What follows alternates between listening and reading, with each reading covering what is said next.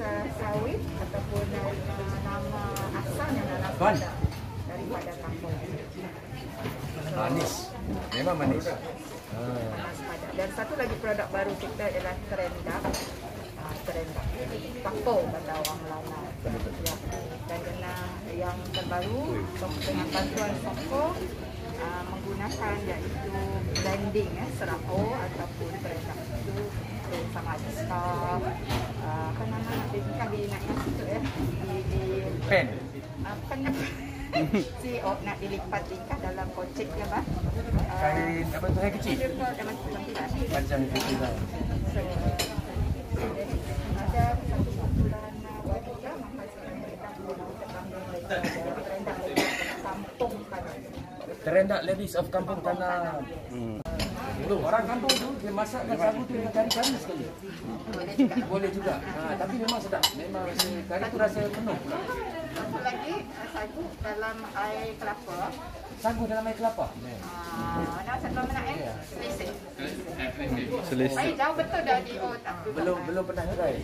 Belum pernah try tu. So daripada sagu banyak banyak apa nama produk yang boleh kita ada 3,000 penonton sekarang sedang menonton secara langsung YB. Kalau YB ada nak tinggal pesan kepada anak-anak dalat di perantauan. Yang rindu kampung halaman. Ya kepada anak-anak dalam di perantauan kami orang pun rindu uh, jadi sama-sama rindu. Jadi nanti bila PKP sudah baik kulit kampung ah kan dia sangat kulit kampung. Mereka nak tahu for the past 2-3 years panjang PKP ni apakah yang baru yang mereka boleh expect bila mereka balik kelab.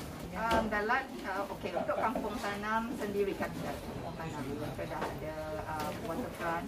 Dan uh, tahun lepas rekod uh, kita ada hiasan uh, untuk Christmas semasa Christmas Christmas tree yang tinggi sekali sepanjang waterfront mereka lihat yang pandangan daripada sungai macam di Paris juga Wah, impressive. Semalam waktu saya breakfast tu, tiba-tiba saya nampak kapal tongkang yang besar lalu.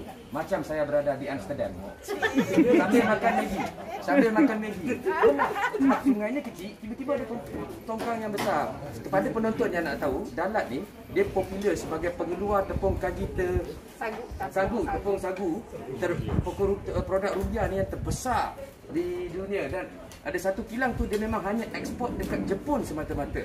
Tu yang tengok kapal tu macam eh aku ni kat Amsterdam ke dekat Dalan? ha, impresif, memang impresif. Ha. uh, ya itu pokok sagu tu Aha. uh, Sepanjang-panjang, sepanjang-panjang perjalanan pokok sagu. sagu dan dengan itu tagline kita di Dalat ialah berakar rupiah berinti budaya. Jadi bila kita berakar rupiah maknanya jati diri kita. Dan uh, berinti budaya kita perlu pelihara budaya kita. Uh, sebab kalau uh, kita tidak pelihara budaya kita, kita tidak ada jati diri. Jati diri orang Melanau itu adalah unik. Hmm. Dari sini keramahan, eh, kaduk sendiri dah. Oh, saya ya.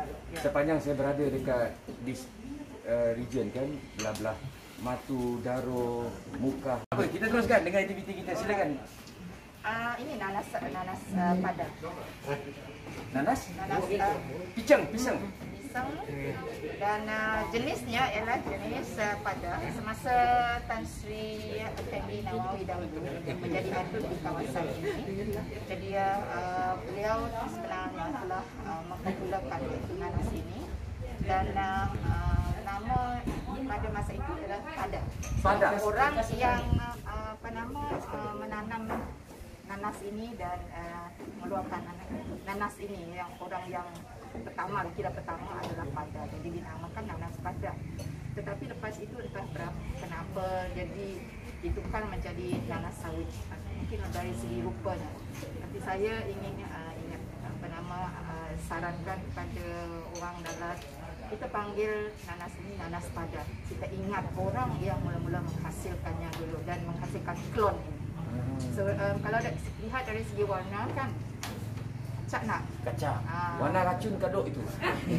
Warna kuning itu. kuning emas dan uh, kalau lihat ya uh, banyak apa nama very juicy dan kaya dengan vitamin C. Memang sedap.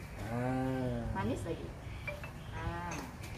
Dan um, tahun ini kali pertama adalah menghasilkan lembakan pisang ataupun nanas. uh, sampai beratus tan.